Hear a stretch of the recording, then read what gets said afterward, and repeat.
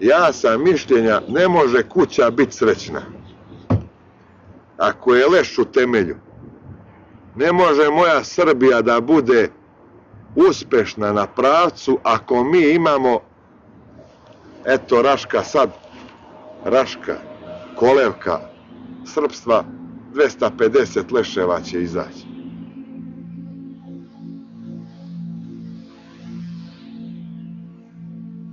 Ja sam Ignjatović Boban iz Leskovca, bio sam radnik Ministarstva unutrašnjih poslova i pripadnik 37. odreda posebne jedinice policije.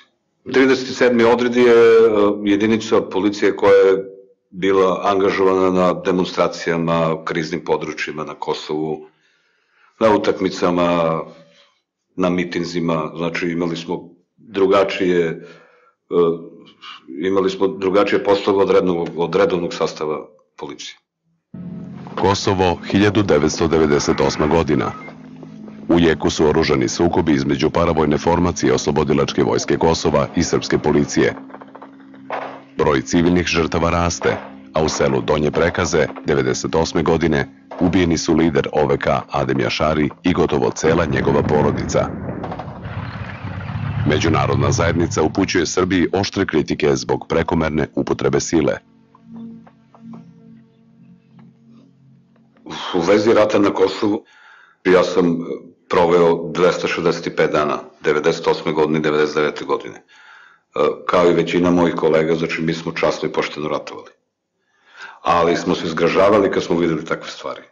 Znači da se čovek bez razloga ubije, da se kuće upali, da se otme automobil, da se uznu pare. E, mi smo protiv toga bili. Mi smo bili na Kosovu protiv toga.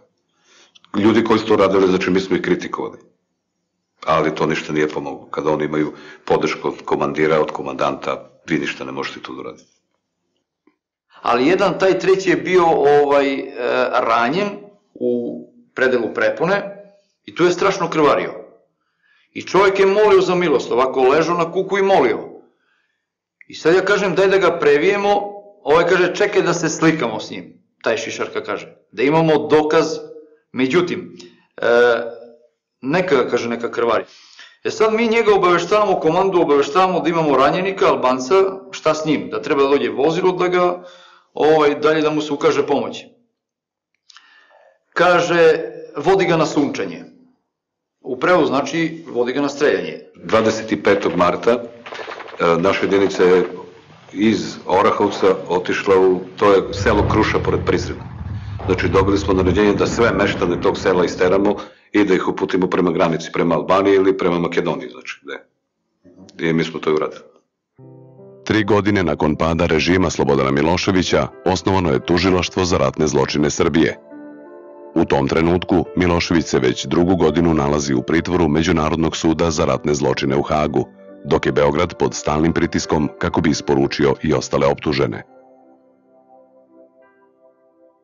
Znam u toj jedinici mojoj gde smo bili da da je bilo tih, ja ih zovem kukuljci, kod nas ti koji su bili skloni tim ovaj, e, zločinima i tako dalje. Nije njih bilo puno, to je bilo, ako uznete obzir od 50 policajaca, to nije bilo 4-5 čoveka takvih.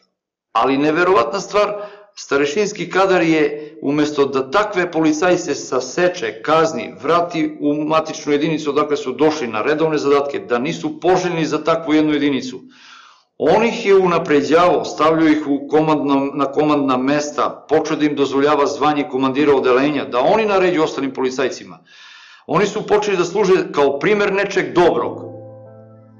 Dve godine nakon osnivanja tužilaštva, 2005. donet je zakon o programu zaštite učesnika u krivičnom postupku. Tako su formalno stvoreni uslovi da svedoci uz zaštitu države pred sudom svedoče o ratnim zločinima – Ti su svedoci naravno izloženi, izloženi su e, na prvom mestu prvo idu, jer to su principi mafije, to mafija radi, prvo idu opomene, pokušaj mićenja da se svedok podmiti, onda idu prednje i idu likvidacije. E, da bi to sve sprečili, mi smo onda, e, kad su nastali ovi, da kažem, kolokvijalno specijalna, specijalne organi, specijalna tužilaštva za organizovanje kriminalne za zločine, kao i sud, ovaj, mi smo tada, tadašnji zakonima je uvedena i ova institucija zaštićena svedoka. Selo Ćuška, nedaleko od Peći.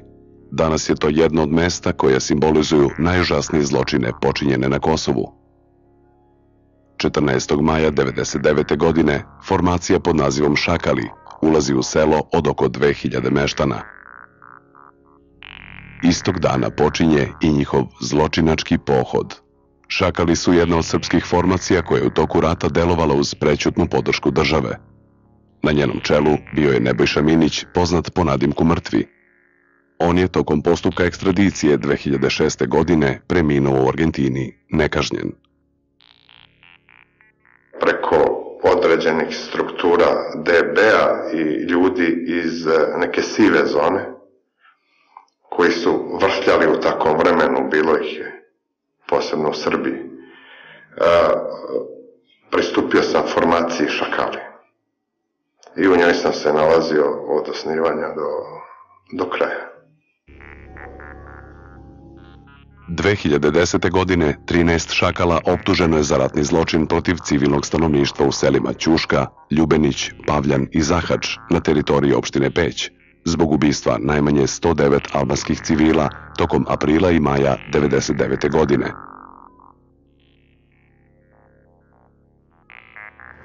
Kako sam odlučio to da postanem svedok? Ja se sećam, ja sam bio tako dobar vojnik kažem za sebe tako odan majci Srbiji Ja sam čovjek koji je posle rata dugo nosio majicu Karadžića i Mladića. Znaš, ono, zaklinjem se, veram, bit ću Radovanu Karadžić, Karadžiću. I verovao sam u to jako. A onda se desi jedna transforma svesti. To je stvarno jedna reforma svesti. To je A kako se desila? Pa ne možeš da budeš lud. Ja mogu da se pravim blesav, ali ne mogu sebe da prevarim. Bio sam, ja ne mogu sebe da slažem da nisam gledao kolone Albanaca i da nisam video masakar. Video sam. Ja mislim, recimo, u slučaju Rašković da je to bilo na, na određen način neko prosvetljenje, jer je čovjek potpuno, to se radi o vrlo inteligentnom čovjeku, i čovjek je, ja sam njemu rekao u, u, u tim prvim razgovorima, da raščisti sam sa sobom, ili će sa nama, ili će sa, sa njima, znači tu gde si bio. A to je, to je, to je zločin, to je krv, to je, to je blato, to je nemoral. Uvek će postojati broj ljudi kojima lična rana ne dozvoljava da lična mržnja ili to kako su tetovirani šta im je govoreno, šta im je prezentovano kao istina, neće im dozvoliti da, da vide stvari drugim očima, osim da je Šiptar štakor koji je okupirao svetu srpsku zemlju.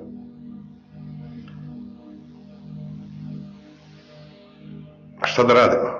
To je nešto što je u našem biću, nacionalnom, jedan deo naše populacije uvek će da ostane takav.